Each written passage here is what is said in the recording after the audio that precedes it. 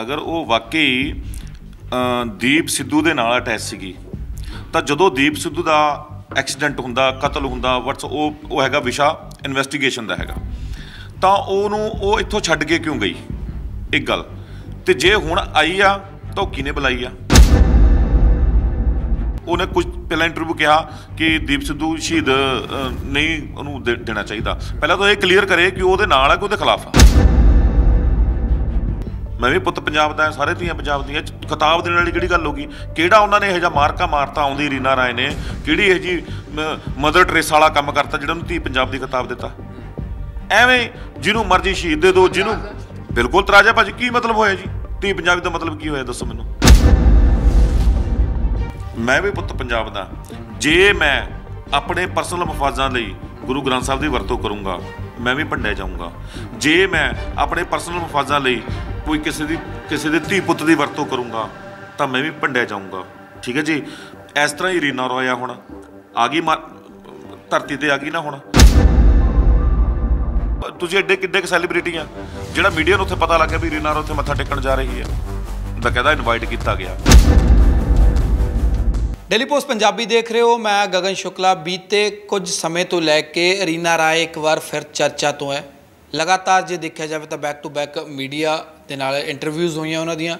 ਤੇ ਹੁਣ ਕੁਝ ਦਿਨ ਪਹਿਲਾਂ ਦਾ ਜ਼ਿਕਰ ਕਰਾਂ ਤਾਂ ਉਹ ਦਰਬਾਰ ਸਾਹਿਬ ਨਤਮਸਤਕ ਹੋਏ ਨੇ। ਹਾਲਾਂਕਿ ਬਹੁਤ ਸਾਰੇ ਲੋਕਾਂ ਨੇ ਇਸ ਤੇ ਜਿਹੜਾ ਕਿੰਤੂ ਪਰੰਤੂ ਵੀ ਕੀਤਾ ਹੈ ਤੇ ਇੱਕ ਜਥੇਬੰਦੀ ਨੇ ਤਾਂ ਧੀ ਪੰਜਾਬ ਦੀ ਖਿਤਾਬ ਦੇ ਨਾਲ ਵੀ ਉਹਨੂੰ ਨਵਾਜ਼ਿਆ। ਤਾਂ ਇਸੇ ਤੇ ਗੱਲਬਾਤ ਕਰਨ ਦੇ ਲਈ ਮੇਰੇ ਨਾਲ ਆਰਪੀ ਸਿੰਘ ਮੌਜੂਦ ਨੇ, ਗੱਲਬਾਤ ਕਰ ਲੈਂਦੇ ਆ ਆਰਪੀ ਜੀ, ਕਿਵੇਂ ਦੇਖਦੇ ਹੋ ਰੀਨਾ ਰਾਏ ਦੇ ਪੂਰੇ ਇਨਸੀਡੈਂਟਸ ਨੂੰ? ਕਿਉਂਕਿ ਦੇਖਿਆ ਜਾਵੇ ਤਾਂ ਜਦੋਂ ਮੀ- ਮੀਡੀਆ ਦੇ ਰੂਬਰੂ ਹੁੰਦੇ ਨੇ ਤਾਂ ਅੱਖਾਂ ਨਮ ਹੁੰਦੀਆਂ, ਕਿਉਂਕਿ ਦੀਪ ਨੂੰ ਯਾਦ ਕਰਦੇ ਨੇ, ਬਹੁਤ ਸਾਰੀਆਂ ਯਾਦਾਂ ਹੁੰਦੀਆਂ। ਤਾਂ ਹੁਣ ਉਹਨਾਂ ਦਾ ਕਹਿਣਾ ਹੈ ਕਿ ਉਹ ਦੀਪ ਦਾ ਸੁਪਨਾ ਸਾਕਾਰ ਕਰਨਾ ਚਾਹੁੰਦੇ ਨੇ ਤੇ ਪੰਜਾਬ ਦੇ ਵਿੱਚ ਉਹ ਜੋ ਦੀਪ ਚੀਜ਼ ਅਧੂਰੀ ਛੱਡ ਗਿਆ, ਉਸ ਨੂੰ ਉਹ ਪੂਰਾ ਕਰਨਗੇ। ਸਾਰੇ ਸਾਸੰਗ ਜੀ ਨੂੰ ਵਾਹਿਗੁਰੂ ਜੀ ਕਾ ਖਾਲਸਾ, ਵਾਹਿਗੁਰੂ ਜੀ ਕੀ ਫਤਿਹ। ਬੇਨਤੀ ਆ ਵੀ ਜਿਹੜੀ ਰੀਨਾ ਰੋਏ ਆ, ਜਿਹੜਾ ਤੁਸੀਂ ਕਿਹਾ ਵੀ ਅੱਖਾਂ ਨਮ ਹੁੰਦੀਆਂ, ਮੈਨੂੰ ਨਹੀਂ ਲੱਗਦਾ। ਅਗਰ ਉਹ ਵਾਕਈ, ਅਗਰ ਉਹ ਵਾਕਈ ਦੀਪ ਸਿੱਧੂ ਦੇ ਨਾਲ ਅਟੈਚ ਸੀਗੀ, ਤਾਂ ਜਦੋਂ ਦੀਪ ਸਿੱਧੂ ਦਾ ਐਕਸੀਡੈਂਟ ਹੁੰਦਾ, ਕਤਲ ਹੁੰਦਾ ਵਟਸ ਉਹ ਉਹ ਹੈਗਾ ਵਿਸ਼ਾ ਇਨਵੈਸਟੀਗੇਸ਼ਨ ਦਾ ਹੈਗਾ। ਤਾਂ ਉਹਨੂੰ ਉਹ ਇੱਥੋਂ ਛੱਡ ਕੇ ਕਿਉਂ ਗਈ? ਇੱਕ ਗੱਲ। ਤੇ ਜੇ ਹੁਣ ਆਈ ਆ, ਤਾਂ ਉਹ ਕਿਹਨੇ ਬੁਲਾਈ ਆ? ਦੂਸਰਾ ਸ਼੍ਰੀ ਹਰਮੰਦਰ ਸਾਹਿਬ ਨਕਸਮਸ ਹੋਣਾ ਕੋਈ ਬੁਰੀ ਗੱਲ ਨਹੀਂ ਹੈਗੀ। ਬਹੁਤ ਅੱਛੀ ਗੱਲ ਹੈ। ਨਕਸਮਸ ਹੋਏ। ਜਿਸ ਹਿਸਾਬ ਨਾਲ ਹੋਏ, ਗੋਲ ਦਸਤਾਰ ਬੰਨ ਕੇ, ਫਿਰ ਅਮਰ ਅੰਮ੍ਰਿਤ ਵੀ ਛਕ ਲੈਂਦੇ। ਤੁਹਾਨੂੰ ਕੀ ਇਤਰਾਜ਼ ਹੈ? ਤੁਸੀਂ ਕਿਉਂ ਇਤਰਾਜ਼ ਕਰ ਰਹੇ ਹੋ? ਅਗਰ ਕੋਈ ਸਿੱਖੀ ਦੇ ਭੇਸ਼ਭੂਸ਼ਾ ਵਿੱਚ ਜਾਂਦਾ ਹੈ, ਤਾਂ ਇਸ ਗੱਲ ਤੇ ਤੁਹਾਨੂੰ ਕੀ ਇਤਰਾਜ਼ ਹੈ? ਪਹਿਲਾਂ ਤੁਸੀਂ ਇਹੀ ਗੱਲ ਅਮਰਤਪਾਲ ਤੇ ਕਹਿੰਦੇ ਰਹੇ ਹੋ। ਅਮਰਤਪਾਲ ਤੇ ਨਾ ਤਾਂ ਅਮਰਤਪਾਲ ਦੇ ਕਦੇ ਕਿਤੂ ਪਰੰਤੂ ਕੀਤਾ, ਉਹਨਾਂ ਦੀ ਦਸ- ਦਸਤਾਰ ਤੇ ਨਹੀਂ ਕੀਤਾ, ਕਦੇ ਉਹਨਾਂ ਦੇ ਕਿਤਾ ਪੂਰਨ ਸਿੱਖੀ ਦੇ ਰੂਪ ਚ ਆਏ ਸੀਗੇ, ਇੱਕ ਗੱਲ।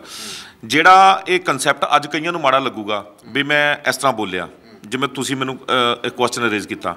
ਲੇਕਿਨ ਭਾਜੀ, ਮੈਂ ਚਾਹੁੰਦਾ ਵੀ ਜਦੋਂ ਰੀਨਾ ਰੋਏ ਨਾਲ ਸੀਗੀ, ਉਹ, ਉਹਨੂੰ ਵਿੱਚ ਵਿਚਾਲੇ ਪੁਲਿਸ ਨੂੰ ਬਿਨਾਂ ਕੋਆਪਰੇਟ ਕੀਤੇ ਕਿਉਂ ਦੇਸ਼ ਛੱਡ ਕੇ ਗਈ? ਫੇਰ ਜਾ ਕੇ ਜਿਹੜੇ ਅੱਖਾਂ ਨਮ ਹੋਣ ਦੀ ਗੱਲ ਆ। ਰੀਨਾ ਰੋਏ ਤਾਂ ਅੱਜ ਵੀ ਕਿੰਤੂ ਪਰੰਤੂ ਕਰਦੀ ਆ। ਜੇ ਉਹਨਾਂ ਨੂੰ ਸ਼ਹੀਦੀ ਦਾ ਪਹਿਲੀ ਗੱਲ ਤਾਂ ਚਲੋ ਮੈਂ ਵੀ ਮੰਨਦਾ ਵੀ ਸ਼ਹੀਦ ਦਾ ਦਰਜਾ ਜਿਹੜਾ ਉਹ ਗਲਤ ਹੈ। ਠੀਕ ਆ, ਜਿਸ ਦਾ ਐਕਸੀਡੈਂਟ ਦੇ ਵਿੱਚ ਹੋਇਆ, ਠੀਕ ਆ, ਉਹ ਚੰਗੇ ਸਪੋਕਸਮੈਨ ਸੀਗੇ, ਚੰਗੇ ਵਿਚਾਰ ਸੀ, ਚੰਗੇ ਮੋਟੀਵੇਟ ਕਰ ਲੈਂਦੇ ਸੀ ਲੋਕਾਂ ਨੂੰ। ਲੇਕਿਨ ਸ਼ਹੀਦ ਦਿਨ। ਪਰ ਰੀਨਾ ਰੋਏ ਜਿਹੜਾ ਉਹਦੇ ਤੇ ਕਿੰਤੂ ਪਰੰਤੂ ਕਰੇ, ਉਹ ਗੱਲ ਸਮਝ ਤੋਂ ਬਾਹਰ ਹੁੰਦੀ ਆ। ਇਹ ਇਹ ਇੱਥੋਂ ਸਮਝ ਆਉਂਦੀ ਆ ਮੈਨੂੰ ਸਾਨੂੰ ਇਹ ਨਹੀਂ ਸਮਝ ਆਉਂਦੀ ਦੀਪ ਸਿੱਧੂ ਦੇ ਹੱਕ 'ਚ ਆ ਕਿ ਦੀਪ ਸਿੱਧੂ ਦੇ ਖਿਲਾਫ ਆ। ਉਹਨੇ ਕੁਝ ਪਹਿਲਾਂ ਇੰਟਰਵਿਊ ਕਿਹਾ ਕਿ ਦੀਪ ਸਿੱਧੂ ਸ਼ਹੀਦ ਨਹੀਂ ਉਹਨੂੰ ਦੇਣਾ ਚਾਹੀਦਾ। ਪਹਿਲਾਂ ਤਾਂ ਇਹ ਕਲੀਅਰ ਕਰੇ ਕਿ ਉਹਦੇ ਨਾਲ ਆ ਕਿ ਉਹਦੇ ਖਿਲਾਫ ਆ। ਇੱਕ ਚੀਜ਼ ਹੋਰ ਹੈ ਇੱਕ ਜਥੇਬੰਦੀ ਨੇ ਤਾਂ ਕਹਤਾ ਕਹਿੰਦੇ ਰੀਨਾ ਰਾਏ ਨੂੰ ਧੀ ਪੰਜਾਬ ਦੀ ਖਿਤਾਬ ਦੇ ਨਾਲ ਨਵਾਜ਼ਿਆ। ਕਿਵੇਂ ਲੱਗਦਾ ਹੈ ਠੀਕ ਗੱਲ ਹੈ? ਭਾਜੀ ਹੁਣ ਮੈਂ ਗੱਲ ਬਹੁਤ ਵੱਡੀ ਕਹਿਣ ਲੱਗਿਆ ਸਾਡੇ ਲੋਕ ਨਾ ਜਥੇਬੰਦੀਆਂ ਜਿਹੜੀਆਂ ਹੈਗੀਆਂ, ਬੜੀਆਂ ਅਮ- ਸਾਡੇ ਲੋਕ ਬੜੇ ਇਮੋਸ਼ਨਲ ਨੇ।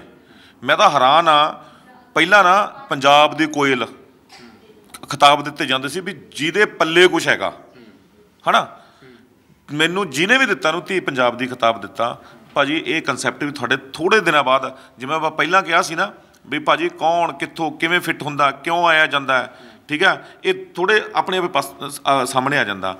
ਹੁਣ ਇਹਨਾਂ ਦਾ ਆਉਣਾ ਦਸਤਾਰ ਬੰਨ ਕੇ ਉੱਥੇ ਹਰਮੰਦਰ ਸਾਹਿਬ 'ਚ ਜਾਣਾ ਔਰ ਪਹਿਲਾਂ ਤੁਹਾਨੂੰ ਪਹਿਲਾਂ ਕਲੀਅਰ ਪੰਜਾਬੀ ਬੋਲਣੀ ਸਿੱਖਣ ਪਹਿਲਾਂ।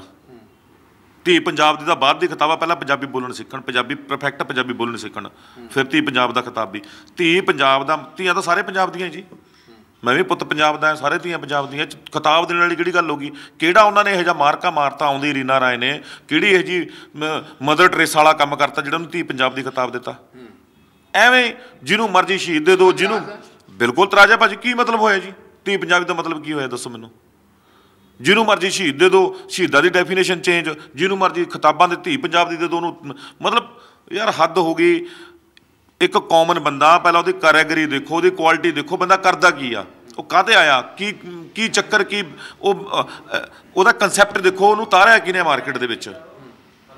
ਲੱਗਦਾ ਇਹ ਇਨਵੈਸਟੀਗੇਸ਼ਨ ਦਾ ਪਾਰਟ ਹੈ? ਭਾਜੀ ਇਨਵੈਸਟੀਗੇਸ਼ਨ ਦਾ ਪਾਰਟ ਤਾਂ ਹੈਗਾ ਹੀ ਹੈ ਜੀ।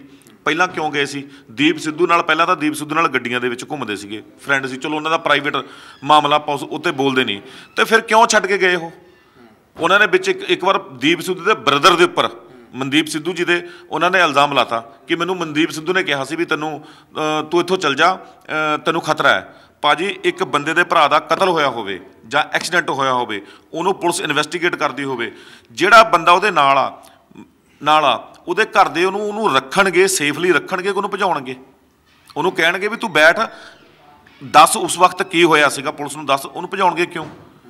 ਸਾਨੂੰ ਤਾਂ ਇਹ ਨਹੀਂ ਸਮਝ ਆਉਂਦੀ ਵੀ ਉਹ ਦੀਪ ਸਿੱਧੂ ਦੇ ਨਾਲ ਆ ਕਿ ਦੀਪ ਸਿੱਧੂ ਦੇ ਖਿਲਾਫ ਆ ਉਹ। ਤੇ ਕੀ ਲੱਗਦਾ ਹੈ ਵੀ ਪੂਰੇ ਘਟਨਾ ਘਟਨਾਕ੍ਰਮ ਦੇ ਪਿੱਛੇ ਕੀ ਆ? ਪਰਦੇ ਦੇ ਪਿੱਛੇ ਬਹੁਤ ਸਾਰੀ ਚੀਜ਼ ਹੁੰਦੀ ਤੁਸੀਂ ਕਹਿ ਰਹੇ ਹੋ।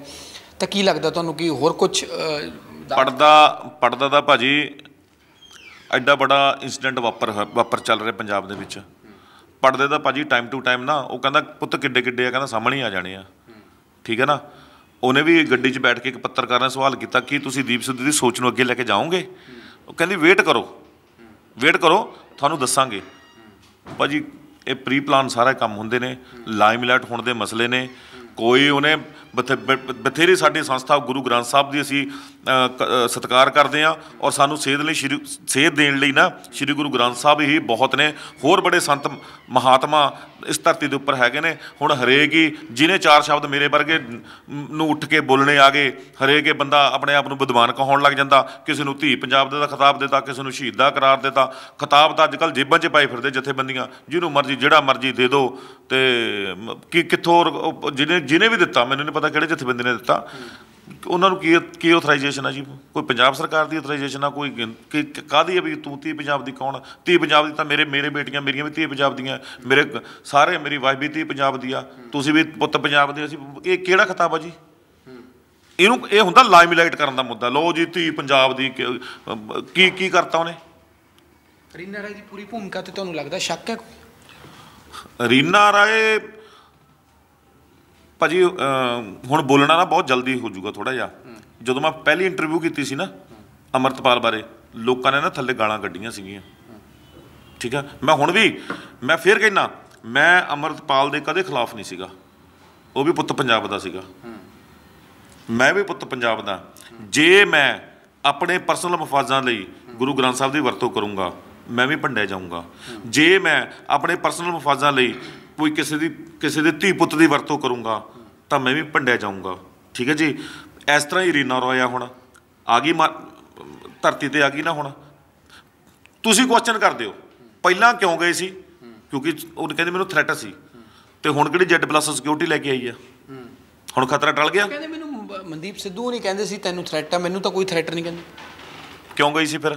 ਫਿਰ ਮਨਦੀਪ ਸਗੋਂ ਦੀਪ ਸਿੱਧੂ ਦੀ ਮੌਤ ਦਾ ਬਾਰੇ ਆਪ ਖੜ ਕੇ ਕਹਿੰਦੀ ਸਾਰੀ ਵੀਡੀਓ ਲੈ ਕੇ ਵੀ ਮੈਨੂੰ ਪੁੱਛੋ ਕੀ ਹੋਇਆ ਸੀ ਉਸ ਟਾਈਮ ਕਿਉਂਕਿ ਸਿੱਧੂ ਉਹਦੇ ਨਾਲ ਜ਼ਿਆਦਾ ਸਮਾਂ ਬਿਤਾਉਂਦਾ ਸੀਗਾ।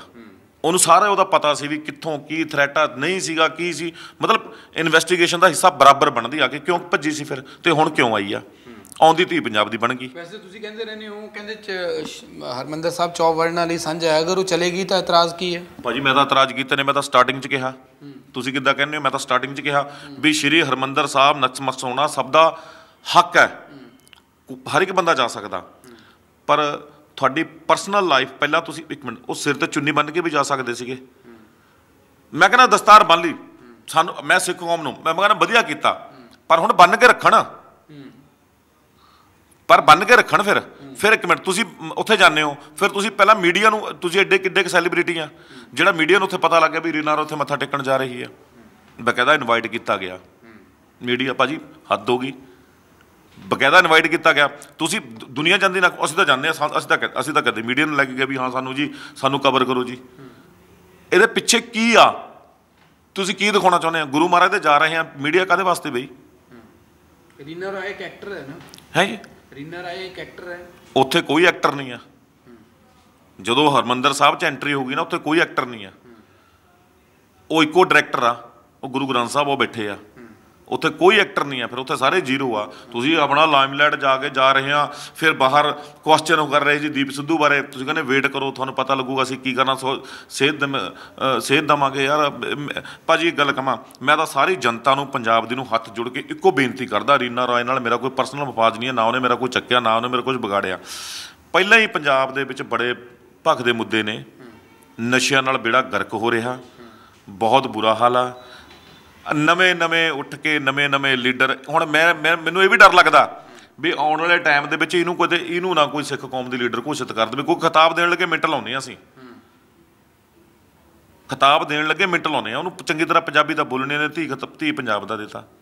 ਸੋ ਮੈਂ ਸਮਝਦਾ ਵੀ ਇਮੋਸ਼ਨਲ ਨਾ ਹੋ ਕੇ ਸਾਨੂੰ ਸਿਰਫ ਸ੍ਰੀ ਗੁਰੂ ਗ੍ਰੰਥ ਸਾਹਿਬ ਮਹਾਰਾਜ ਨੂੰ ਹੀ ਮੰਨਣਾ ਚਾਹੀਦਾ ਔਰ ਸ੍ਰੀ ਗੁਰੂ ਗ੍ਰੰਥ ਸਾਹਿਬ ਮਹਾਰਾਜ ਆਈਡੀਓਲੋਜੀ ਨੂੰ ਅਡਾਪਟ ਕਰਨਾ ਚਾਹੀਦਾ। ਸਾਨੂੰ ਦਿ- ਸਾਨੂੰ ਸੇਧ ਦੇਣ ਲਈ ਉਸ ਤੋਂ ਵੱਡੀ ਗੁਰੂ ਗ੍ਰੰਥ ਸਾਹਿਬ ਤੋਂ ਵੱਡਾ ਨਾ ਦੁਨੀਆ ਤੇ ਹੈ, ਨਾ ਦੁਨੀਆ ਤੇ ਸੀ ਤੇ ਨਾ ਦੁਨੀਆ ਤੇ ਹੋਊਗਾ। ਐਵੇਂ ਹਰੇਕ ਇਹ ਬੰਦਾ ਆ ਕੇ ਲੀਡਰੀ ਘੁੱਟਣ ਲੱਗ ਜਾਂਦਾ ਸਾਡੇ ਸਿੱਖੀ ਦੇ ਵਿੱਚ। ਮੈਂ ਕਹਿੰਦਾ ਬਹੁਤ ਹੀ ਵਧੀਆ ਗੱਲ ਨਹੀਂ ਆ। ਆ ਆ ਦੇਖ ਲਓ ਤੁਸੀਂ ਨੈਸ਼ਨਲ ਮੀਡੀਆ ਦੇ ਵਿੱਚ ਸਿੱਖਾਂ ਦਾ ਕਿਆ ਕਰਦਾਰ ਦਿਖਾਇਆ ਜਾ ਰਿਹਾ, ਕਿੱਥੋਂ ਤੱਕ ਭੰਡਿਆ ਜਾ ਰਿਹਾ। ਗਰਦਾਰਾਂ ਦੇ ਟੈਗ ਤੱਕ ਦਿੱਤੇ ਜਾ ਰਹੇ ਆ।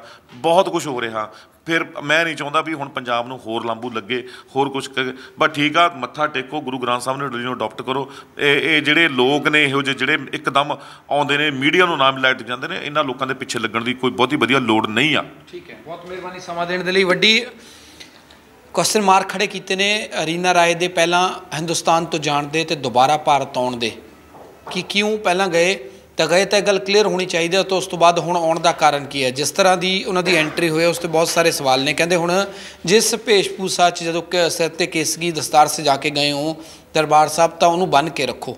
ਔਰ ਤੀ ਪੰਜਾਬ ਦੀ ਖਿਤਾਬ ਦੇਣ ਤੇ ਕਿਤੇ, ਇਤਰਾਜ਼ ਜਤਾਇਆ ਕਿ ਉਹਨਾਂ ਨੇ ਪੰਜਾਬ ਦੇ ਲਈ ਐਸਾ ਕਿਹੜਾ ਕੰਮ ਕੀਤਾ ਹੈ, ਜਿਸ ਦੇ ਲਈ ਉਸ ਨੂੰ ਇਸ ਖਿਤਾਬ ਨਾਲ ਨਵਾਜ਼ਿਆ ਜਾ ਰਿਹਾ ਹੈ। ਕੈਮਰਾਮੈਨ ਰੋਸ਼ਨ ਦੇ ਨਾਲ ਗਗਨ ਸ਼ੁਕਲਾ, ਡੇਲੀ ਪੋਸਟ, ਪੰਜਾਬੀ।